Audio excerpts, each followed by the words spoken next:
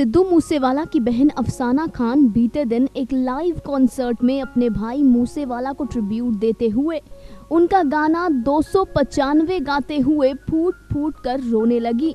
जी हाँ अचानक गाना गाते हुए अफसाना ने माइक नीचे रख दिया और ज़ोर ज़ोर से रोने लगी। वहाँ मौजूद लोग अफसाना को संभालने की, समझाने की कोशिश कर रहे थे, लेकिन अफसाना खान अपने भाई को इतना याद कर रही थी कि वो संभल ही नहीं पा रही थी।